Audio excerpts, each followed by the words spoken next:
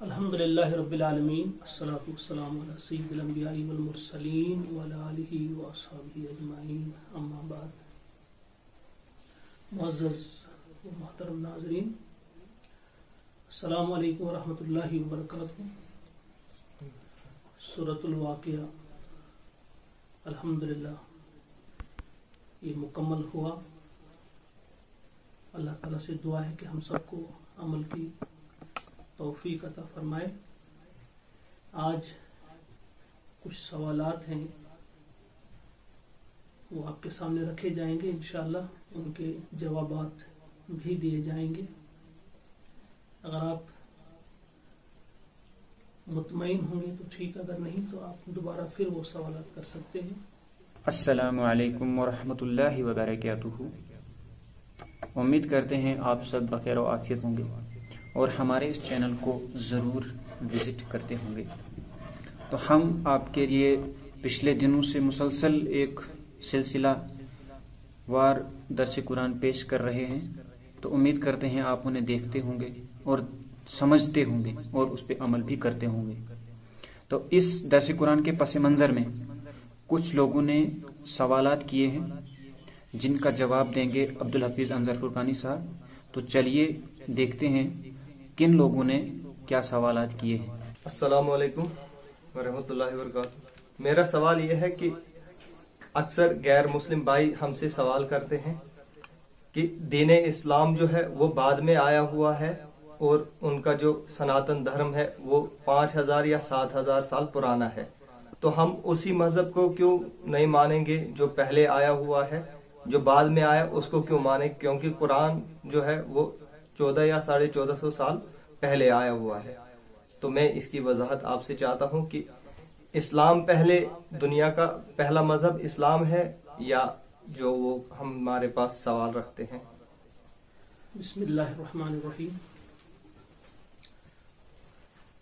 अच्छा सवाल है।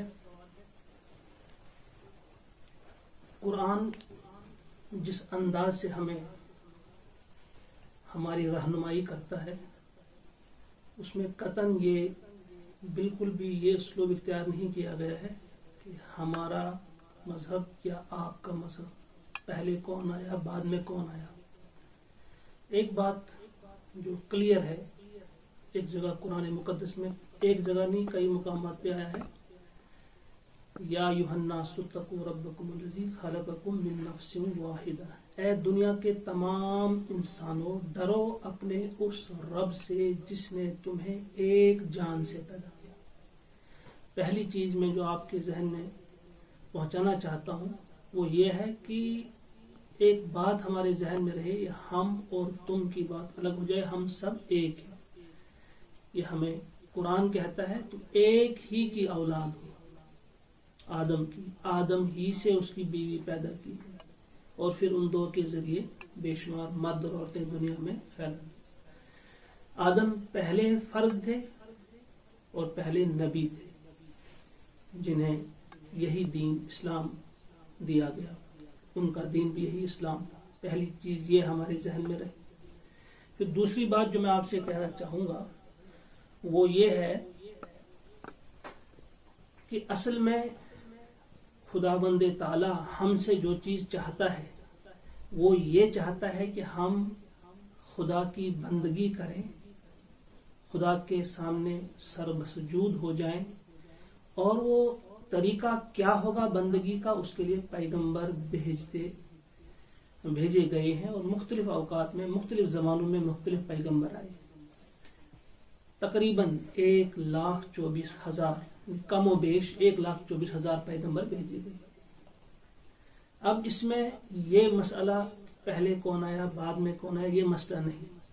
कुरान हमसे कहता है कि सारे ही पैगंबर जो है वो हमारे हैं। यानी हम सब इंसानों के, कोई किसी का नहीं। फला मगरिब का है, मशरक का है, फला इस मज़हब का है, फला उस मज़हब का नहीं। हम जितने भी अम्बिया आए हैं, जितना भी नबी, जितने भी नबी आए वो हम सब के नबी हैं। ये भी हमारे सामने, ये जहन में रहे और फिर कुरान ये कहता है, वली कुल्ली कौमिन हाद। हर कौम के लिए एक हादी, एक राहबर, एक रहनुमा भेजा गया है।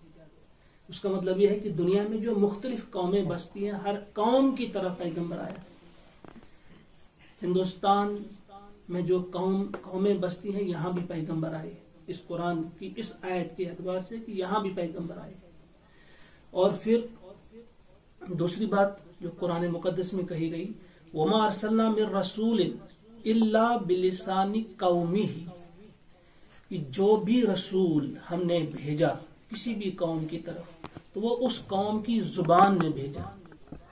यानी उसकी ज़ुबान वही थी जो उसके, उस कौम के लोग बोलते थे। और उन पर जो किताबें नाजिल की गई, वो भी उन्हीं की ज़ुबान में गोया अगर हिंदुस्तान में जो नबी आए होंगे, उनकी ज़ुबान वही रही होगी जो यहाँ की ज़ुबान संस्कृत, वो रही होगी। लिहाजा इस बात को हम जहन से निकाल दें कि हमारा पैगंबर, उनका पैगंबर, हमारा दीन, हमारा मज़हब या उनका मज़हब, बुनियादी हम सब एक आदम की औलाद हैं, बुनियादी तौर। और हम सब पैगंबरों को मानते हैं। अगर हम, कुरान हमें कहता है, कुरान ने हमें सिखाया है कि हमने जो ईमान लाना है सभी पैगंबरों पे लाना है। अब देखिए सूर्य बकरा की जो आखिरी या उससे पहली वाली आयत है, दो सौ पचासी आयत नंबर, उसमें अल्लाह तबारक ने फरमाया, आमन रसूल बिमा इलैहि मिन रब्बिही वल मुमिनून। ईमान ले आया रसूल, यानी मोहम्मद अरबी यानी मान गया, उस हिदायत को जो अल्लाह ने उसकी तरफ़ नाजिल की। और सारे मोमिनीन जो है, वो भी मान गए। आमन रसूल बिमा रबी वल मोमिन कुल्लुन आमन बिल्लाही व मलाइकती व कुतुबी व रसूल वो सब, यानी रसूल भी और मोमिन भी, मुसलमान, यानी सारे, वो ईमान लाया उन्होंने किस पर अल्लाह पर। कुल्लु नामन बिल्ला व रसूल, उसके तमाम रसूलों पर। और किताब, उसकी किताब पर, उसके मलाइका पर, उसके तमाम रसूलों पर। गोया, हमारे लिए कंपलसरी है। हमारे लिए ज़रूरी है कि हम हर पैगंबर पर ये मान लें। चाहे वो हिंदुस्तान में आया हो, अरब में आया हो। चाहे उसकी ज़ुबान अरबी रही हो, संस्कृत रही हो, या किसी और ज़ुबान में इबरानी रही हो। किसी भी ज़ुबान के साथ कोई किताब आई हो, अल्लाह की किताब, उसको मानना कुल्लुन आमना बिल्लाही व मलाइकती व कुतुबी तमाम किताबों पर। अल्लाह की तमाम किताबों पर, वह रसुल है उसके तमाम रसूलों पर। ला नुफर्रिकु बैना अहदिम रसूल। कुरान कुरान हमसे कहते हैं कि हम फ़र्क नहीं करते। ला नुफर्रिकु, हम तफरीक नहीं करते रसूलों के दरमियान। ला नुफर्रिकु, ये हम जहन में रखें कि हम तफरीक नहीं करते। कि वो अच्छा है, वो वो बड़ा है, ये छोटा है, वो सही है, वो गलत है, नहीं। हम सब पैगम्बरों को मानते हैं।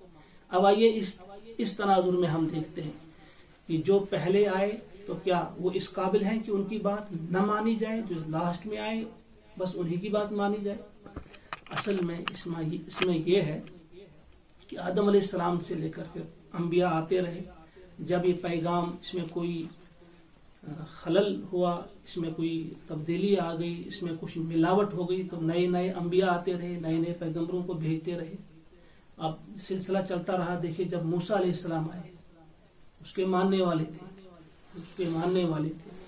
उन्होंने जब उनको माना, उनको मुसलमान कहा जाने लगा तो या वो इस्लाम के मानने वाले थे वो मुसलमान थे? एक दौर तक, फिर जब ईसा इस्लाम को भेजा गया, उस वक्त जिन लोगों ने ईसा इस्लाम को माना, उनको मुसलमान कहा जाने लगा।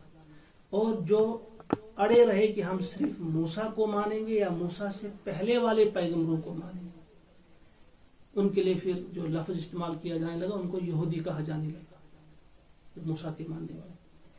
और फिर इसी तरह से ईसा सलाम और उनके साथियों को, जितने भी लोग थे वो, उनको मुसलमान कहा जाने लगा, यानी वो इस्लाम के मानने वाले। फिर उसके बाद, तकरीबन 500 साल के बाद 500 से कुछ अरसा बाद में जब आखिरी पैगंबर मोहम्मद रसूलुल्लाह तशरीफ़ ले आए तो उस वक्त कुछ लोगों ने इनकार किया आपको मानने से। उन्होंने कहा, बस हम ईसा को मानते हैं, बस हमारे लिए काफ़ी है। मूसा को भी मानते हैं, ईसा को भी मानते हैं, लेकिन मोहम्मद को नहीं मानेंगे। उनको फिर ईसाई कहा जाने लगा, नसारा कहा जाने लगा। उनको नसारा कहा जाने लगा। हालाँकि मूसा के मानने वाले जो थे, चाहिए था कि उन सबको कि ईसा को भी मानते। न सिर्फ़ ईसा को, बल्कि उसके बाद मोहम्मद रसूलुल्लाह इनको भी मानते। ऐसा नहीं हुआ। इसी तरह ईसा इस्लाम के मानने वाले, अगर वो सब पैगम्बरों को मानते हैं, तब तक ईसा तक आने वाले। तो उसके बाद जो मोहम्मद रसूलुल्लाह आए, उनको भी मानना चाहिए। फ़र्क यही है कि हम ये कहते हैं, हम नहीं, बल्कि आप को ये कहना चाहिए, ये आपकी सोच होनी चाहिए, हम सब की सोच होनी चाहिए कि जिस तरह हम सब पैगंबरों को मानते हैं, सबसे पहले पैगंबर आदम सलाम, सबसे आखिरी पैगंबर मोहम्मद रसूल हम सबको मानते हैं। इसी तरह चाहिए था कि सबको तमाम लोग जो किस, जो किसी भी कौम या किसी भी मुल्क या किसी भी इलाके से ताल्लुक रखने वाले हैं, उनके लिए ये पैगाम है कि आइए हम सब सब पैगंबरों को माने। तमाम ही अंबिया के मानने वाले हम बने एक दूसरे से मोहब्बत करने वाले बने एक दूसरे की बात को समझने वाले, सुनने वाले, उस पर गौर फ़िक्र करने वाले और उसके बाद उस पर अमल करने वाले बने। ये कोई मसला नहीं, पहले कौन आया, बाद में कौन आया, बाद में कौन आया, इससे वो मसला नहीं बनता। या इसका मतलब ये नहीं कि बस हमारी मानो उसकी नहीं। हम, मैं, आप तो इस बात को हम खत्म करेंगे और हम कोशिश करें हम सब मिलकर, कि जिस तरह तमाम अंबिया को हम मानने वाले हैं, आइए आखिरी पैगंबर को भी माने, उसके दिया हुआ जो पैगाम है, उसको समझे और उसके मुताबिक हम अपनी ज़िंदगी को संवारें। अल्लाह ताला मुझे भी तोफ़ी अता फरमाए।